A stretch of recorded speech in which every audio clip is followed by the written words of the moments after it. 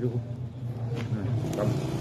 Μας επισκέφθηκε ο τέος Υπουργός και καθηγητής της Ιατρικής κ. Σαλμάς με σκοπό να ενημερωθεί για τη στρατηγική του νοσοκομείου εν ώψη και της απελευθέρωσης από τον COVID τώρα που έχουμε πάρα πολλές σημαντικές αλλαγές. Ενημερώθηκε για το προσωπικό, για τις προκλήσεις που υπάρχουν στον τομέα της υγείας και γενικά είχαμε μια συνεργασία 2,5 ώρων η οποία ήταν αρκετά λεπτομερής.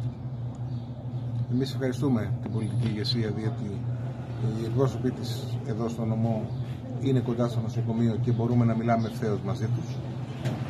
Και ζητάμε συνεχώς στήριξη για όλα τα σχέδια που έχουμε, είτε μεγαλεπίβολα, είτε ακόμα και τα πιο μικρά που πολλές φορές απαιτούν τη βοήθεια. Ευχαριστώ.